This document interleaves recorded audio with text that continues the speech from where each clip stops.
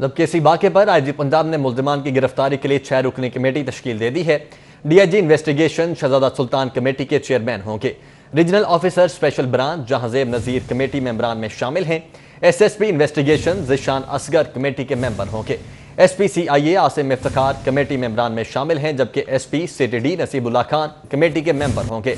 Incharge gender crime civil lines Lahore Faza Azam committee में शामिल हैं, जबकि चेयरमैन कमेटी मजीद मेम्बरान को शामिल कर सकते हैं।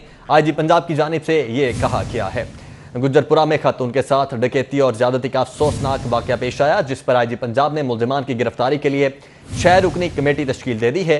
D I G investigation Shahzada Sultan committee के चेयरमैन होंगे। Regional officer special branch Jahanzeb Nazir committee मेम्बरान में शामिल हैं। इनके साथ साथ S S P investigation Zeeshan Asghar भी कमेटी के मेंबर होंगे। S P C I A Asim Iftar committee मेम्बरान में शामिल हैं जबकि S P C T D Nasibullah Khan भी कमेटी के मेंबर होंगे। अली शाही ने इस वक्त हमें ज्वाइन किया है। अली शाही छह रुकनी कमेटी तश्कील दी गई है। आ, क्या मकसद होगा इसका? किस तरह से काम करेगी?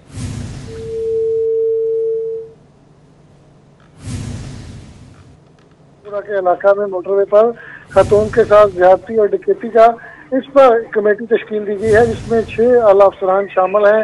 इसके chairman D I investigation Lahore Shahzada Sultan होंगे, जबकि दीगर जो मेम्बरान हैं, उसमें S S P investigation Lahore Zeeshan Asghar S S P special branch Zeeshan Zeeshan Nazir और इसके साथ साथ दीगर तीन अफसरान शामिल हैं। आई जी पंजाब की जानब से हुक्म दिया है कि ये कमेटी जो तफ्तीश मेरिट पे करेगी और मुलजमान की जल्द अज जल्द गिरफ्तारी अमल में लाने में अपना किरदार अदा करेगी। अगर मजीद किसी अलाइड डिपार्टमेंट के कोई अफसरान चाहिए होंगे तो चेयरमैन कमेटी इसमें मेम्बरान को शामिल कर करेगा।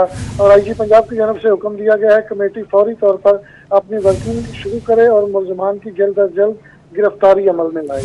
अच्छा तो लिसाई किसी किस्म की कोई डेडलाइन भी दी गई है? जी बिल्कुल आज दिन भर भी इसी केस पे एक्टिविटीज़ जारी रही हैं। सीसीपी लाहौर की जानब से मुख्तु बयान सामने आए हैं और आईजी पंजाब की जानब से भी लाहौर पुलिस के तमाम अफसरान को तलब किया गया था और अहकाम जारी किए गए थे कि मुलजमान को जल्द अज जल्द गिरफ़्तार किया जाए, लेकिन अभी तक मुख्तलिफ़ पहलुओं पर जायजा लेने के बावजूद लाहौर पुलिस के बड़े अफसरान और फोर्स की बहुत बड़ा हिस्सा जो है वो इस पर काम कर रहा है, लेकिन अभी तक पुलिस को कोई कामयाबी हासिल नहीं हुई। अभी तक पुलिस को किसी किस्म की कामयाबी हासिल नहीं हुई है और आई जी की जानब से छह रुकनी कमेटी तश्कील दी गई है। बहुत शुक्रिया अली आपका।